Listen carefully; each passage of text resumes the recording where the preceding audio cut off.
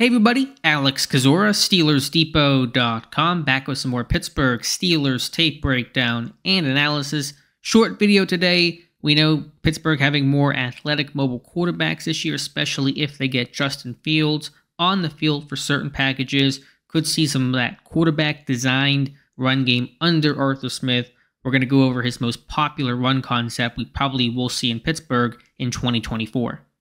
Before we start, if you guys could like this video, subscribe to the channel, and check out the site, SteelersDepot.com. Would really appreciate that. So, run concept, quarterback run game, designed under Arthur Smith, the read option with an additional layer to it. Just basically to sum up, in, in the read option, you're going to read the end man on the line of scrimmage. If he crashes down to take the running back, the quarterback's going to keep the football and run it himself. If the end stays out wide to play the quarterback keep, the quarterback will give the ball hand it off to the running back up the middle. The layer on top of this is you're going to get this arc block from the tight end. Typically, you talk about split zone, split flow action. He's going to block the, the backside end man. In this case, it's going to be the front side end man on the line of scrimmage. In, in this situation with the arc block, he's going to bypass him intentionally and take the cornerback instead. So I'll play this one through, and you're going to see the tight end intentionally allow that end man to be unblocked because he's going to be read. That's how they're going to basically block him is by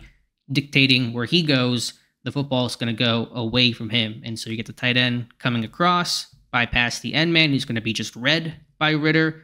and the another layer too in the element of motion. In this case, we'll look at the aerial view is the receiver motion coming across pulls that safety away, and then allows the crack block from the receiver on the linebacker as the tight end arcs around on the cornerback. So a lot of layers here of guys being read, of the motion element, and then this arc block from the tight end. It's really well done. It's a big lane here for Desmond Ridder. So to slow it down and run it through just one more time, going to read the right defensive end. He's going to crash down on the running back. That's a keep read for Ritter. The motion pulled the safety across.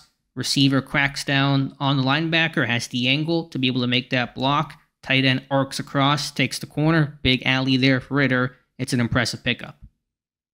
Same concept against the Packers in 2023.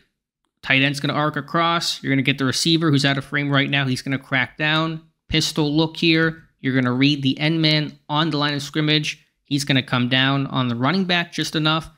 Ridder's going to keep the ball, follow the tight end and nearly get in the end zone. Not sure why he didn't turn up field a little bit sooner there. And he was trying to get wide of the DB, uh, the safety, but that's really besides the point. So again, a lot of elements, receiver motion coming across, less effective it looks like here overall, but reading the end man, tight end arcing across, the 49ers do a ton of this as well. You don't really have to truly block that end man because you're reading him. The receiver in this case did crack down because he was just, you know, they were playing, I think, a little bit uh, deeper with the safeties here. But that's a great way to get that advantage in the run game. And if Fields does see the field this year, you're going to see this concept certainly called a couple of times.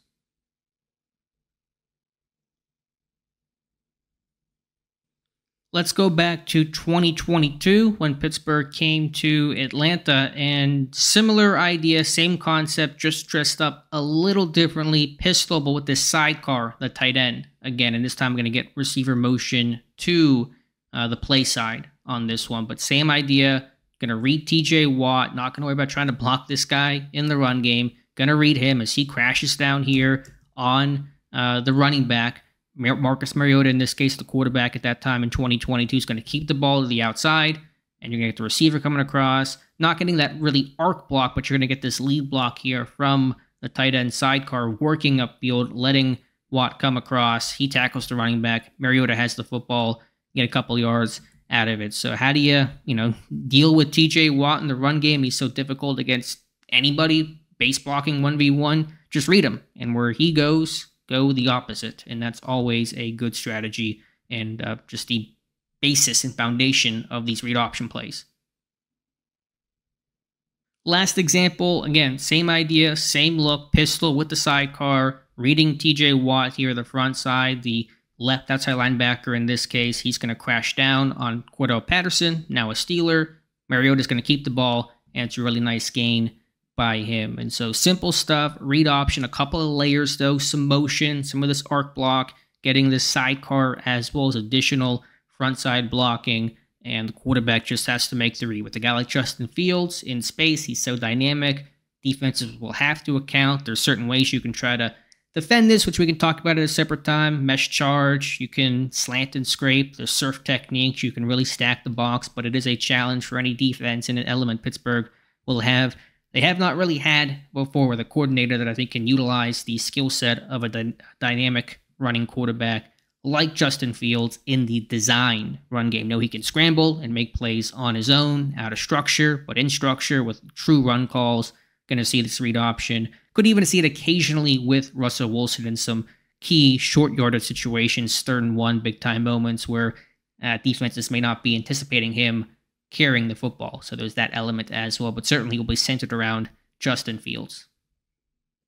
So let me know your thoughts in the comments below. Appreciate you guys watching. If you guys could like this video, subscribe to the channel, and check out the site, SteelersDepot.com. Would really appreciate that. Again, thank you for watching, and we'll talk to you soon.